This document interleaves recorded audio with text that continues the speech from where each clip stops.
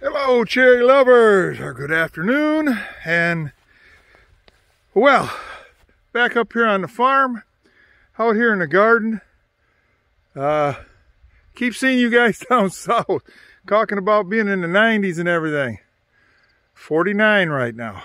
It's we had a frost last night, uh, so I had to come out and get what was left in the garden because that's pretty much it for this year in the garden let me turn you around and show you what's going on. Of course, out here, like I said, everything's bolting. And uh, we're going to try and get some seeds off the broccoli. We still have flowers on our squash. Uh, we got some little ones on here and possibly even in another month, like this little bugger right here, we still might get some butternut squash because I keep reading and they say in cooler temperatures up here where we're at, you can continue to get butternut squash. So we're hoping, we're really hoping, because that would give us some good ones. Now for the zucchini, eh, they're pretty much done. We got a few little ones left and I'm gonna pick them, but they're still flowering too, so I don't know. If we got another month, we'll probably get some peppers. We got little bitty peppers on here. I think they got saved by the light frost. Lots of flowers. If you take and look down here, you can probably see the little peppers. They're everywhere. If we can get three more weeks, three, just three, of halfway decent weather, upper 50s and 60s, well, get peppers. Joyce's greens, they do excellent in the in the fall here. So I've already picked them and as you can see there's plenty more. so she'll have more greens. Her kale's still doing good. Uh, we transplanted some beets that we, they were too thick. Well, if you look, keep looking down that row, yep. and we left some more carrots down here to thicken up by themselves and they're doing they're getting thicker so along with the rest of the beets. So we might still get beets but what I am amazed about is the green beans. Some of them are too thick and woody but there is some in there. Uh, tomorrow I think I'm going to come out here and try and pick the thinnest ones. As you can see right there they're still and they're still flowering. So possibly we can get more, uh, maybe a few more beans. I don't know. I don't like them when they're big and woody, but there's definitely, like this one here.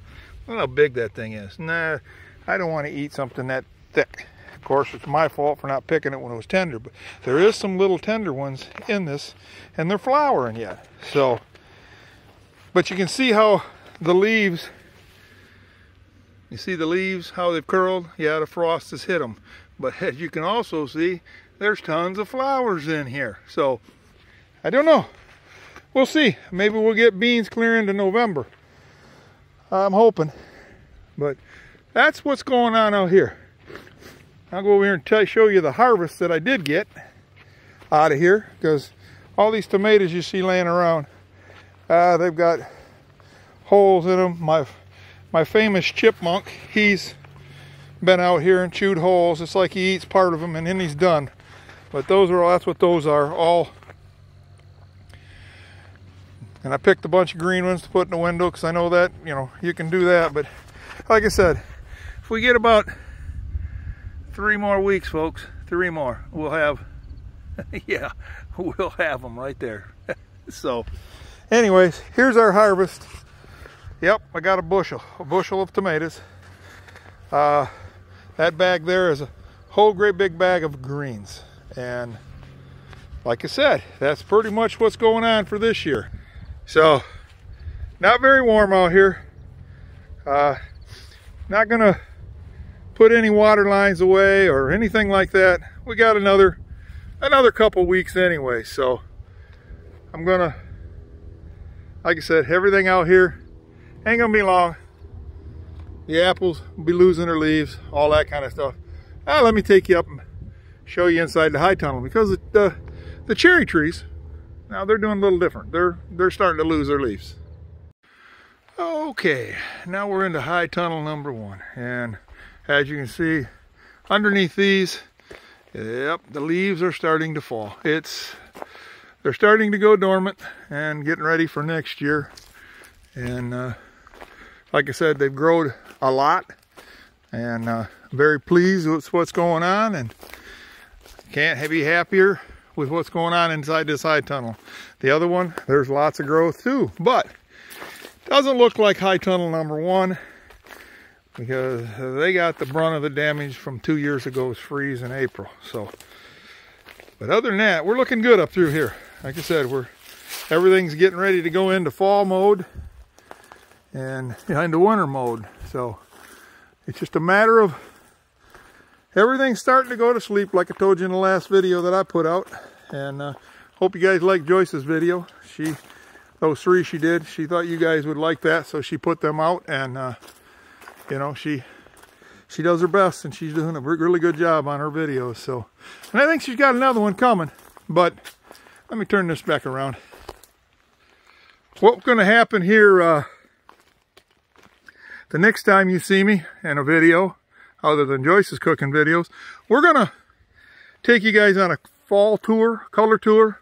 Right now, if you look over my shoulder, it hasn't started yet uh, because it has been fairly mild, but it's coming. And uh, now that we got that frost, yeah, you betcha, we're gonna, we're, you're gonna see, uh, you're gonna see the trees change real quick. That's what happens up here. They do change.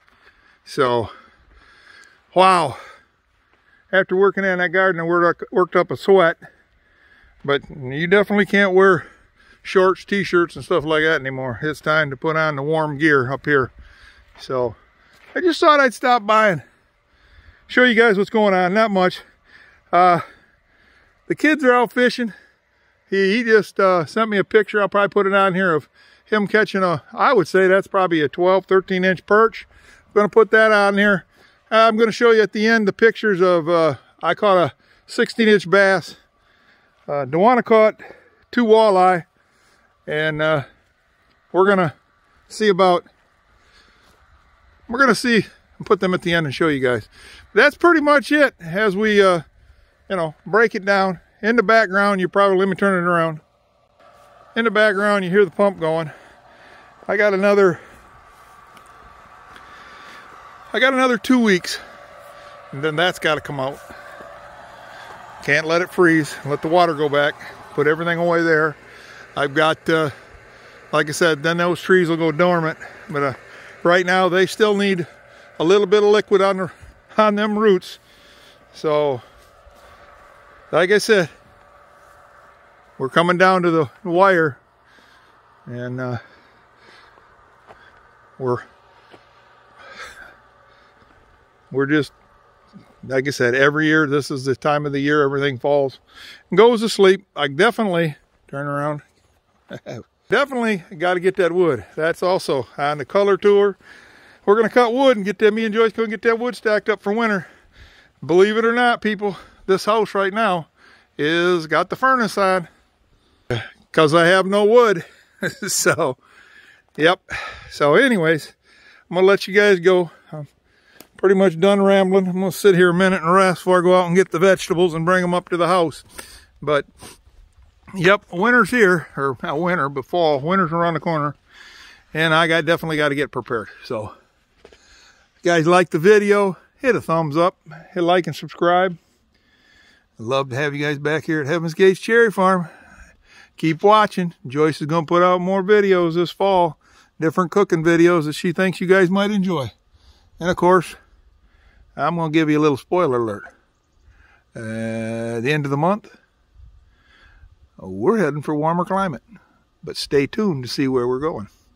All right, now, you guys have a good one. Hit that like and subscribe, and I'm out of here. I got to go and get all this done bef before it rains because it's sure looking like it. Talk to you later. Bye now.